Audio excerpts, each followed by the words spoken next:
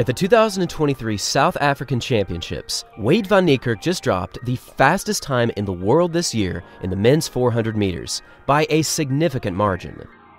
Over the opening 200 meters, he was biding his time in the middle of the pack.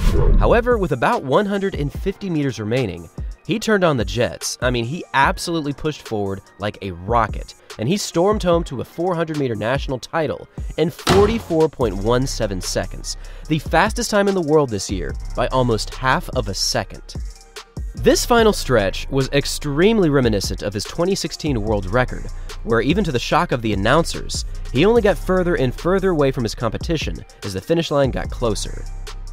There's just something about Van Niekerk's final 100 meters when he's at his best. From his nearly perfect upright posture to his devastating strength, he just brings home the smoke better than anyone else in the world over the final 100. And right now, he simply has to be considered as one of the clear favorites to win a global medal in this year's World Championships in Budapest. Now, this finishing time holds extraordinary significance, as Van Niekerk's story since 2017 is actually one of the saddest in track and field. After winning his third straight global title in the 2017 World Championships, just a few days later he tore his ACL during a celebrity rugby match, and ever since this moment, he has been on a slow and steady return to the top of the world.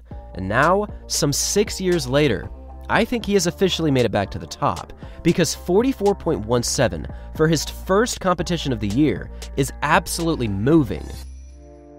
This is actually the fastest time that Van Niekerk has run since 2017, even faster than his Olympic performances in 2021, faster than his World Championship showing in 2022, even faster than his 400 meter season closer last year, when he took down Kirani James with a time of 44.33. This really is a huge showing for the world record holder over the 400, but the scary part of this finishing time showcases a very similar kind of result as to what we saw in 2016 which of course was the year where he broke the world record with a time of 43.03.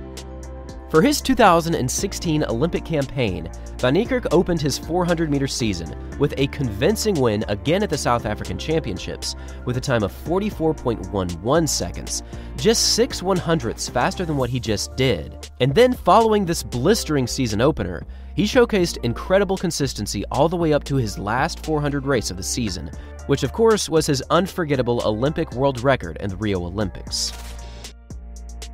For the past two years, Van Niekerk has showcased consistent improvements throughout his entire racing seasons, and specifically in 2022, he ended his year with two of the fastest times that he has run in five years, running a 44.39 in Zurich, Switzerland, and then his 44.33 in Bellinzona, Switzerland.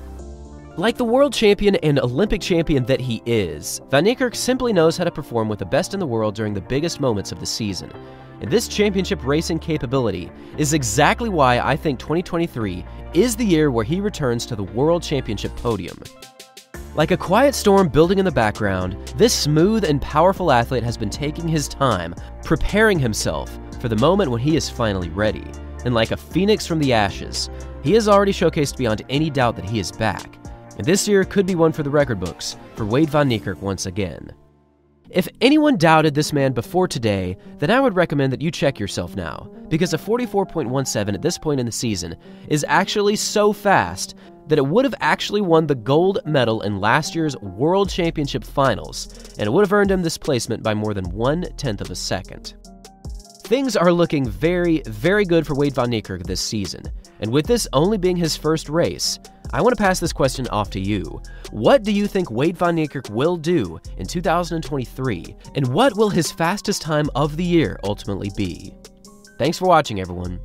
And as always, Van Niekerk is an absolute legend.